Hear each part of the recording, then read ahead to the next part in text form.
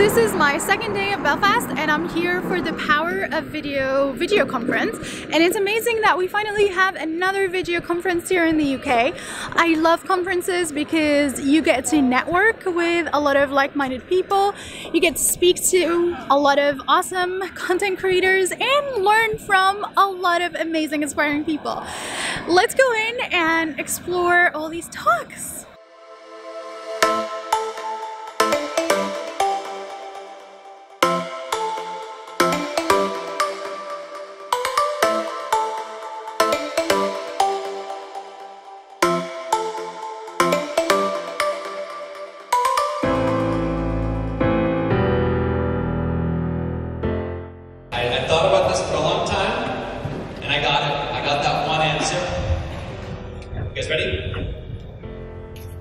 Make better content. There's a whole bunch of things in your life that you cannot influence. You're born into a family, you didn't get to choose it. You didn't get to choose it that, you know, whether whether your family is rich or poor, struggling, whether you guys get along, you, you can't really choose those things. You can't even choose how much skill you're born with. What you're interested in, or what you're really good at. You can't choose any of those things. You can't influence those things that you're born with, that you're given right from the beginning. One thing you can, you can influence, and that's the effort that you put into this life. That's the effort that you put into your skill. And that's what I'm talking about here. Learn, make, repeat. You can 100% influence that. That is completely up to you. You can go home from this conference and every single day start watching a tutorial or working with somebody who's a little bit better or better at a different skill than you, and learning from them. You go home, you make a video. You can start this as soon as you leave from here. You don't need any other magic bullet, magic solution, secret knowledge. You don't need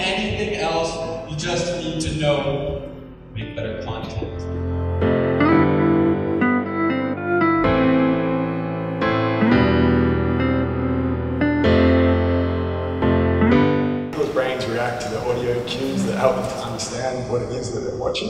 You want your audience to connect with the story that you're telling, you need to make sure you have the right of compliment. Daydream a lot. Um, and I would get into a lot of trouble at school for daydreaming. Now I get paid to daydream, you know? Take that, teachers. And um, creativity is the ability to be able to believe in your perception of the world so much that you actually create an art form out of it. It's your point of contact, it's your way to communicate your ideas. Like, if someone had to come to me and go, hey Dan, bro, like, are you cool? Or like, what's going on? And I, would have to ask, like, dude, you have like three days for me to explain to you like my feelings right now. Because I'm so deep and I've got so many thoughts, and that's why I make films. Films for me are these beautiful boxed emotions. It's my mind that's all chaotic, it's my map that becomes my script, that becomes a film, that I put pretty music to, and, and performance and whatever else, and it, that's what movies are. It's an extension of, of human conscious thinking, right? Collaborations are great because, like I said earlier, even though we have however many subscribers, when we did our first collaboration, there were all these people that were like, oh my gosh, Jerry Rig Everything, I can't believe you did a video with him. He's so awesome, he's my favorite. Or, I came from Jerry Rig Everything, I never knew about your channel. So, even though you think you, we think sometimes, oh, we've got a big audience,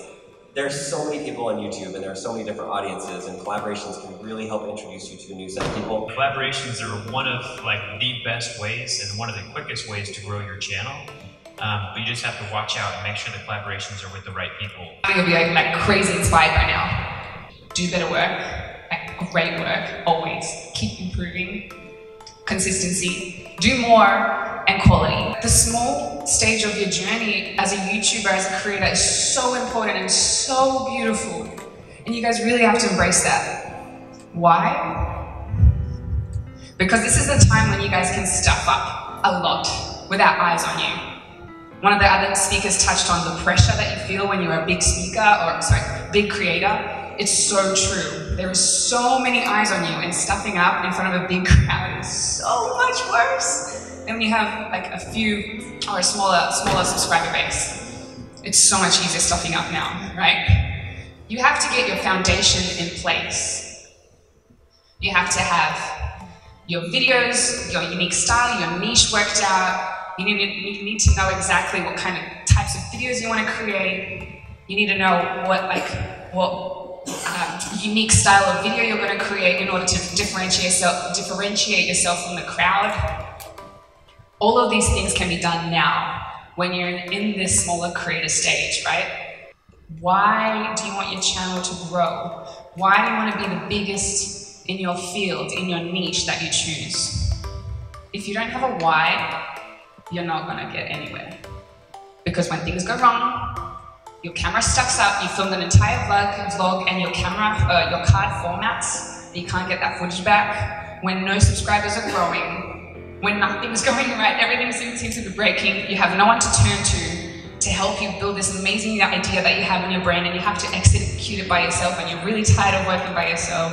If you have a full-time job and you still want to create this but you're tired because you have to feed your family or go to school or whatever it is, there is the only thing that will get you through these really tough times is the why.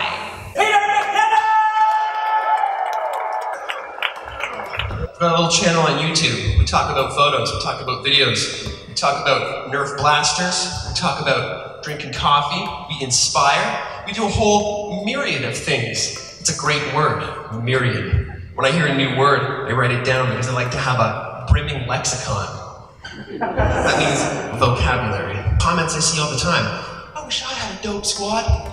Wouldn't it be great to like have friends in the same area doing the same things? Ah, the dope squad. It is, it is great. But right now, look around you.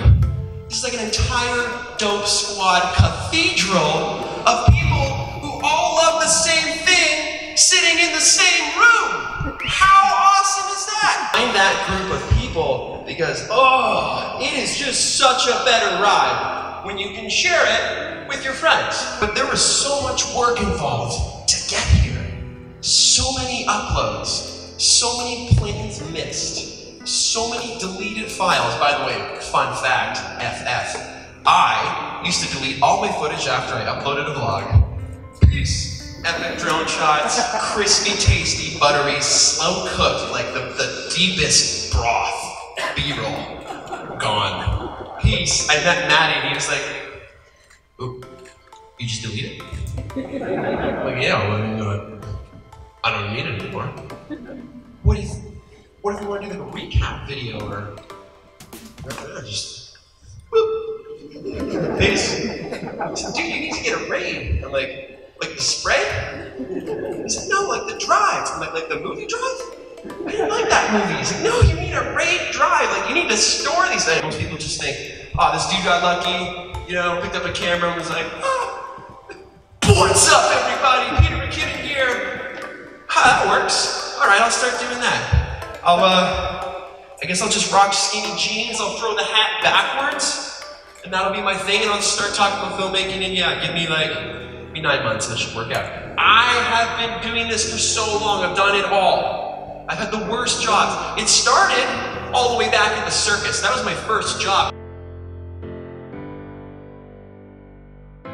Wow, that was a cool event. It's full of inspiration and the day was full packed of really great tips. Hope you guys enjoyed this video and don't forget to share, like, subscribe, and hopefully I'll see you here or wherever they do this event again next year.